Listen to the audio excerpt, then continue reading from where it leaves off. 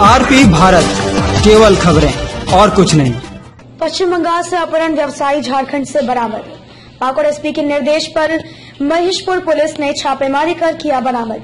अपहरण व्यवसायी को नंगा कर वीडियो और फ़ोटो अपहरणकर्ताओं ने बनाया। चार अपहरणकर्ता दबोचे गए, दो लैपटॉप सहित आधा दर्जन मोबाइल जब्त। पश्चिम बंगाल के मुर्शिदाबाद ज़िले के ब्रह्मापुर अपहरण व्यवसायी नीलांकर मंडल को पाकुर पुलिस ने झारखंड के महेशपुर से छापेमारी कर बरामद कर लिया है।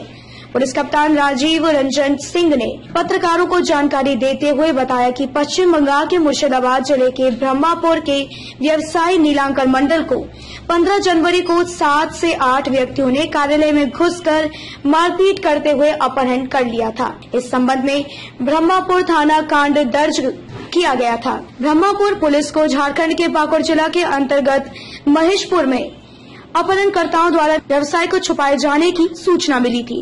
बंगाल पुलिस ने पुलिस कप्तान को जानकारी दी। इधर पुलिस कप्तान ने गंभीरता से लेते हुए महेशपुर थाना प्रभारी को मोबाइल लोकेशन के आधार पर छापेमारी करने का निर्देश दिया। एसपी ने बताया कि महेशपुर थाना प्रभारी के नेतृत्व में टीम गठित की गई और ताबड़तोड़ छापेमारी की गई। छापेमारी के दौरान पुलिस को पता चला कि अपहरणकर्ता शुमेनंदु कुमार दास महेशपुर पोस्ट ऑफ़िस के पास अपने घर में अपहरण को छुपाकर रखा है इस पर छापेमारी दल जब शुमेनंदु के घर पर छापेमारी करने गई तो उसी समय लाल रंग, एक मैरून रंग का होंडा सिटी कार तेज रफ्तार से ग्वालापाड़ा की ओर भागने लगा। पुलिस पीछा कर वाहन को रोका, तलाशी लेने पर चार व्यक्ति वाहन छोड़कर भागने लगे।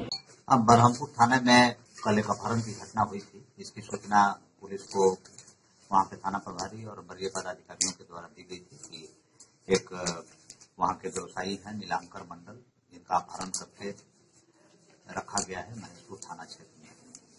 अपहरणकर्ता का नाम उनके द्वारा बताया गया था। एक व्यक्ति का, जो शुभेंदु कुमार है, उस पर, वहाँ पर नामजद केस किया गया था।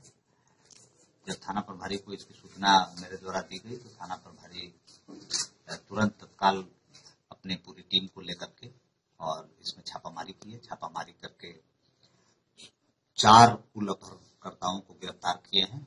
साथ थे तो उसके तुरंत उसने डेढ़ महीना में कुछ नहीं बोला और उसके पहले इसके नाम के ऊपर जेडी भी कर रखा है। इसने फ़ोन करके बार बार धमकी देता था कि तुझको मारेंगे, मेरे माँ को ऊपर गाली दिया, मुझे मारने का धमकी दिया। इसका पूरा जेडी फ़ाइल 10 नवंबर को मैंने किया था बरहमपुर मेरा जो ये है, हमारे वहाँ पे।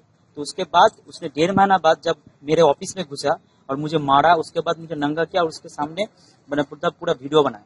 उसके बाद हमको वहाँ से उठा के ले आया गाड़ी में बैठाया और उसके साथ टोटल फाइव आदमी थे एक थे राजेंद्र कुमार दास एक थे शिवम बुद्ध रॉय एंड तरुण महातो और जो बॉडीगार्ड और ड्राइवर टोटल बिज़नेस के लिए मतलब उसका जो बिज़नेस है वो फ़ैशन वाइब्स ओके हम लोग बिज़नेस करने वो जब हमको वहाँ से निकल दिया तो मैंने एक उसके ही चचरी भाई है उनके साथ जो दिव्यन्दु दास है नाम उसका तो उसके साथ हमने बिज़नेस करी।